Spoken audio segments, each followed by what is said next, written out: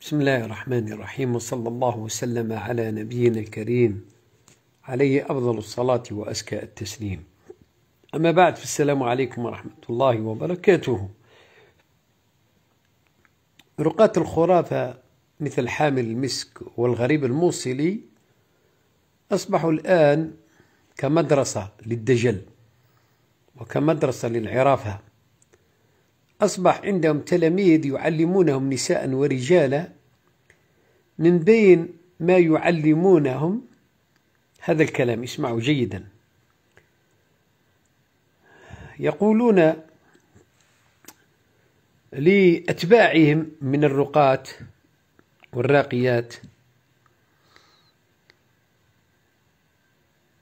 وسمعته من كثير من أولئك الذين يتابعونهم وتعلموا عندهم الرقية وأصبحوا رقاة رقاة خرافة مثلهم.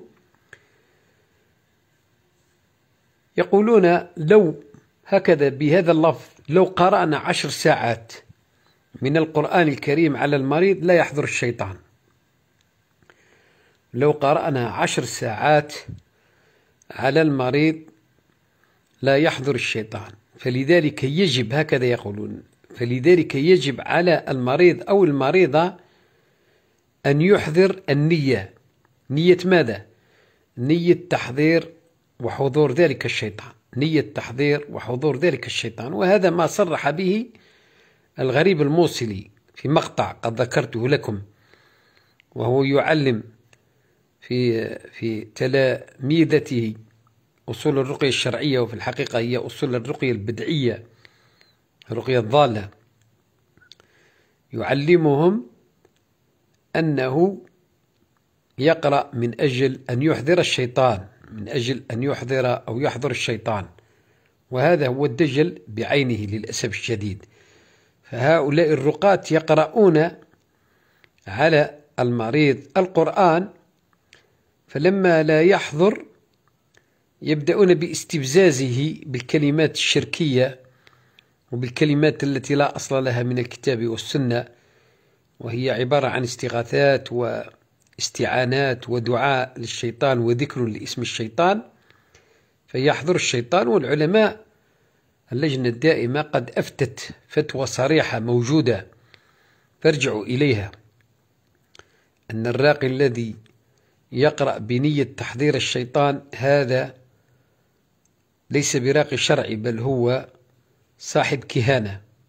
هكذا أفتت اللجنة الدائمة. الراقي الذي يقرأ بنية تحضير الشيطان في جلسة الرقية هذا ليس براقي شرعي وإنما هو صاحب كهانة. فارجعوا إلى الفتوى. بارك الله فيكم.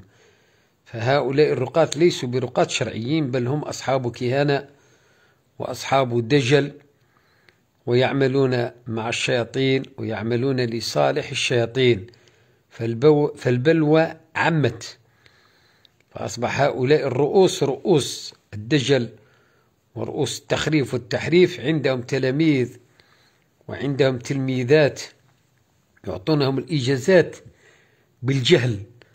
فيأخذ التلميذ وتأخذ التلميذ الإجازة وتفرح بذلك الجهل وبذلك التخريف والتحريف وتصبح بين عشية وضحاها راقية. راقية بماذا؟